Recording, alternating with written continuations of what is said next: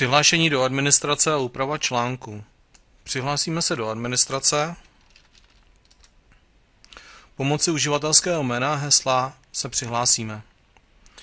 Zde vidíme, že web je rozdělený do několika částí. V tuto chvíli nás zajímá zpráva o obsahu webu, na kterou klikneme. V tabulce vidíme veškerý obsah, který je na webu. E, nyní je web rozdělený do dvou částí, do české a anglické. My si zde vyfiltrujeme anglickou verzi webu, která v tuto chvíli obsahuje texty, které jsou v podstatě duplicitní s těmi českými. Pokud klikneme na náhled webu,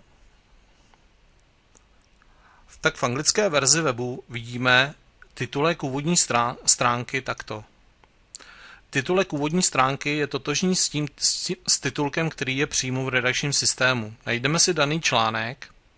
Pokud bychom článku měli víc, můžeme zde použít filtr. Pokud článku nemáme tolik, tak si ho najdeme zde, protože to není tak složité, klikneme na něj.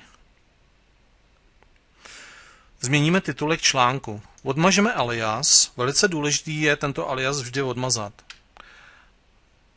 Napíšeme nějaký text, který máme v tuto chvíli připravený ve Wordu. Napíšeme titulek, který máme připravený ve Wordu. Dáme vložit ctrl-c a ctrl-v. Pokud budeme chtít změnit odrážky, které budeme mít připravené ve Wordu, opět označíme text, který máme v Wordu, dáme ctrl-c, označíme text, který chceme změnit, dáme Ctrl-V. Zde si označíme text, který chceme stučnit, který chceme tučně a stejně jako ve Wordu klikneme na B a text je tučně. Dále, když se podíváme na web, tak zde máme tři boxy. Zde máme první box, druhý box, třetí box. První box má název titulku zkrátka široko daleko. Zkrátka široko daleko. Ve Wordu máme připravený texty. Skopírujeme si text, který máme ve Wordu, jako titulek prvního boxu. Zde je velice důležitý kliknout přesně před titulek, který v tuto chvíli je eh, v článku a dáme Ctrl-V. Zbytek odmažem.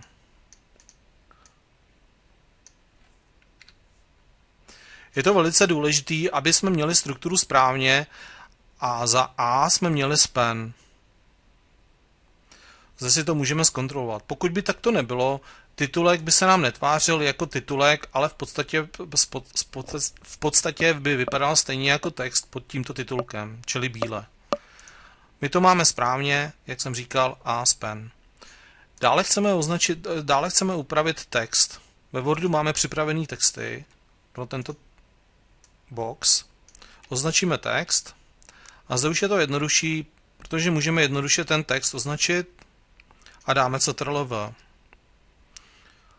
Zde vidíme, že se nám vše správně vložilo. Další, další boxy můžeme upravit stejným způsobem. Jakmile máme toto hotové, článek uložíme a zavřeme. Obnovíme stránku pomocí tlačítka F5